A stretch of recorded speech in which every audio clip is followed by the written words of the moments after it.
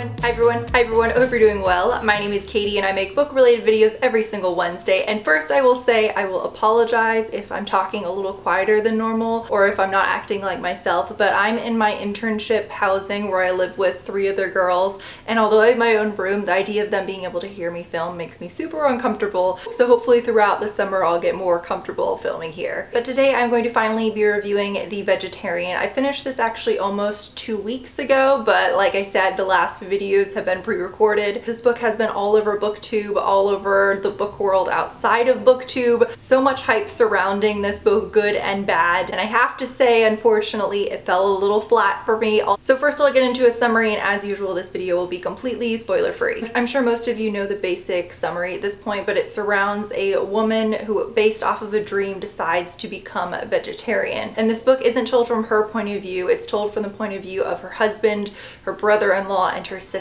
And as I've seen a lot of other people say in their reviews, and I completely agree, this book actually has nothing to do with vegetarianism whatsoever. It's much more psychological and it has to do with sort of the ripple effects that her decision has on her family. So first I will get into what I liked and then I will get into what I disliked. So for what I liked, I thought the imagery was just incredibly unique. Now I can't get into this without saying any spoilers, so I won't say anything in detail, but, but I'll just say some of the imagery and strange things that occurred during the brother-in-laws section were just so strange and I, I don't want to call it wonderful because it was very odd, but the imagery was really unique and like nothing I had ever read before. I also, not surprisingly, love the psychological aspect of how one person's small decision, or, or I guess I should say seemingly small personal decision can have a ripple effect and the type of behavior it can produce in other people and how they react to it. The final point of view of the book is from the sister's point of view and I absolutely adored that section, particularly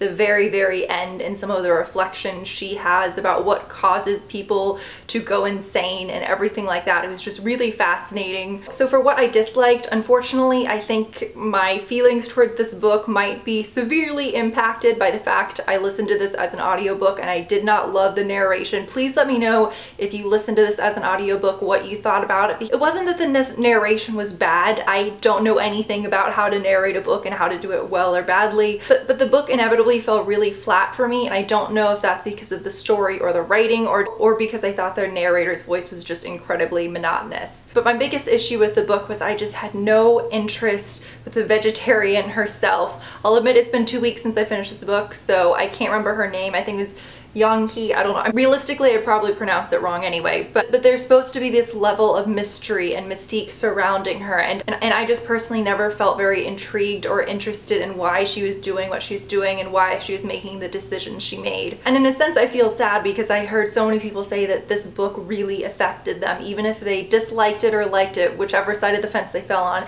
it really had an effect on them and it left them thinking about it for a really long time. Me meanwhile, I kind of liked the book and thought it was a really interesting premise, but it just had zero effect on me. And, and I remember a few days after I finished it telling myself, so many people, you know, this book has really affected them. This should be causing you to think. You need to think about this book and just nothing was happening. So although I loved the premise and I did adore a lot of the writing and some of the characters' perspectives, for whatever reason, I was just a bit bored by the book and it didn't really affect me in any huge way. But please let me know if you listened to the audiobook, did you have similar feelings? Or, or if you read it as a regular book, did you have those feelings? Should I go ahead and read the physical copy? Maybe that would make a difference. So if you guys enjoyed this video, I think my next video will be a Miami vlog. You guys know I love filming my travel videos. I'm going to Miami this weekend, so make sure to also follow me on Instagram, which I'll link down below. But I hope you guys enjoyed this video. I hope you have a great 4th of July if you celebrate, and I'll see you guys soon.